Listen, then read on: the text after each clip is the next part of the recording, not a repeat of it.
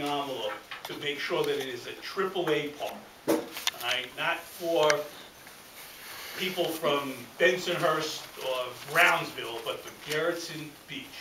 So, Marty, Okay. they're all yours. Thank you, Councilman. Uh, Folks, I'm Marty Maher, I'm the Chief of Staff of Parks in Brooklyn, and uh, it- we're happy to be here tonight. We we love, uh, A, we love doing stuff for the council member because he funds a lot of parks, and we love communities that really care about parks. So, um, I don't know if you're aware, there's 887 parks in Brooklyn, and occasionally, you'll get a council member to give you 800,000, uh, a million dollars here. I'm not sure if you guys realize how lucky you are. Uh, we call him for at least the Gerritsen Beach part. He's the four million dollar man, because there's about four million dollars worth of projects just in the Gerritsen Beach area going on. We should call him the forty million dollar man, because in Marine Park as a whole, there's about forty million dollars worth of projects going on. Uh, and, and that's to the credit of, uh, Councilmember Fidler. So we're, we're extremely grateful for that. And yes, he does call constantly. He says, no, that's not good enough, no, we need more, no, we need better. I don't want it like Bensonhurst or Bed-Stuy, I want it for people in Seba. And so we have some, uh, stuff to, to show you tonight. I just wanna go through, um, up here on this board, just to orient you, here's the, uh, baseball field that's existing.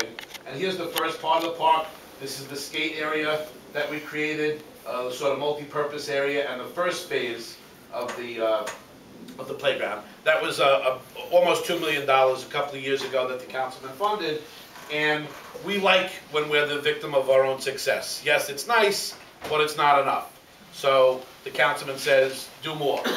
So uh, our commissioner says it's our business to make sure kids and parents have a place to do their business. So we funded a comfort station, and uh, this comfort station has been designed, that's what we call bathroom in Parks and Rec, just uh.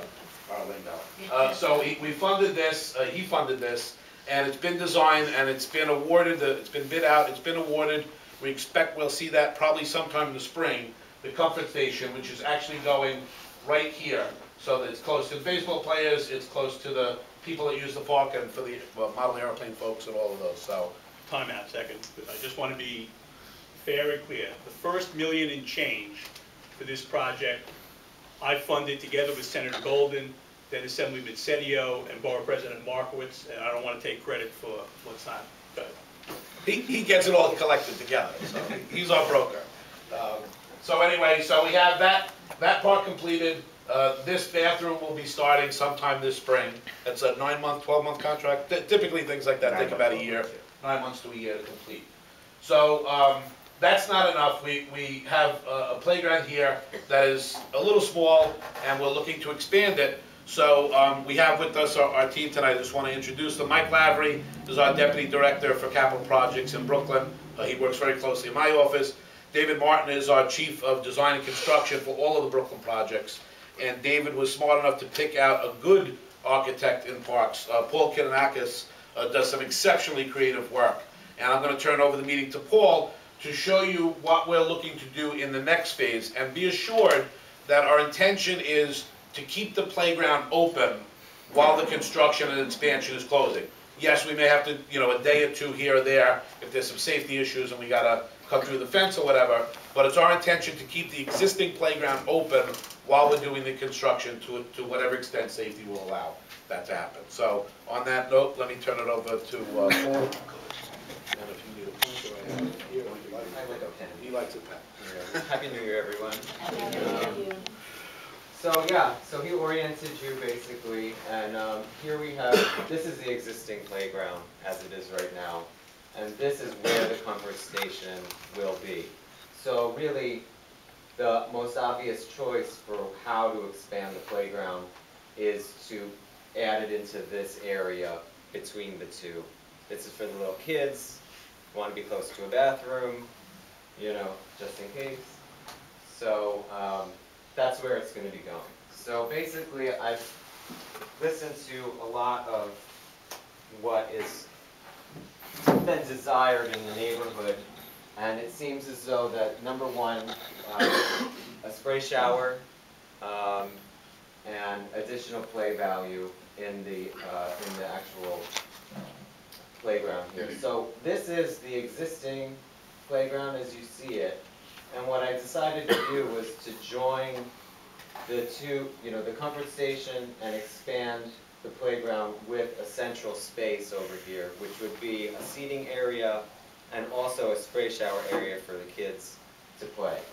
Um, I'm using all the same materials, um, asphalt hex block pavements, um, and introducing a lot more planting into the actual park, and, um, really joining this, this side of the park with the comfort stations to make it one cohesive space.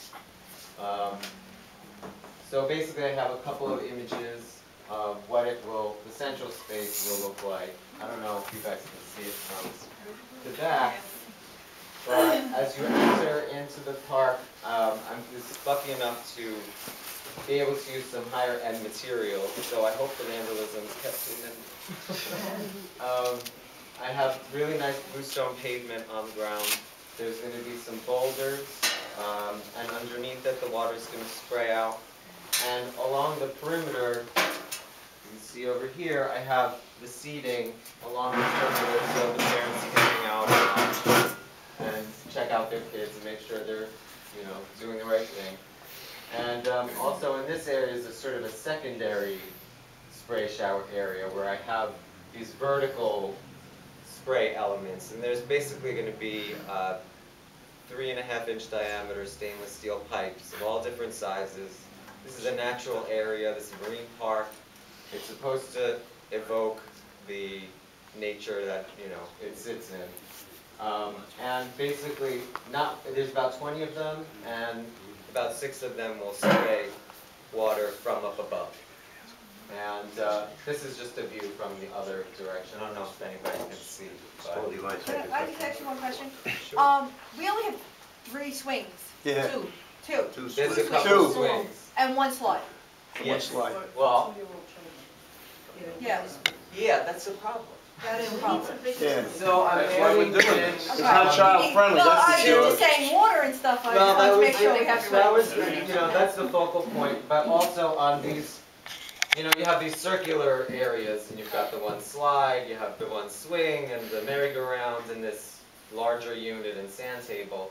So I, I, I continued the circle, you know, the circle shape, geometry, and I gave, what I'm doing here, this is more of like, I have a large unit and a small unit.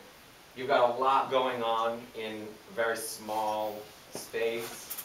Um, you've got a bunch of slides, little climbing apparatus. Um, I have a whole bunch of music type of events going on. So there's gonna be a lot more climbing and, you know,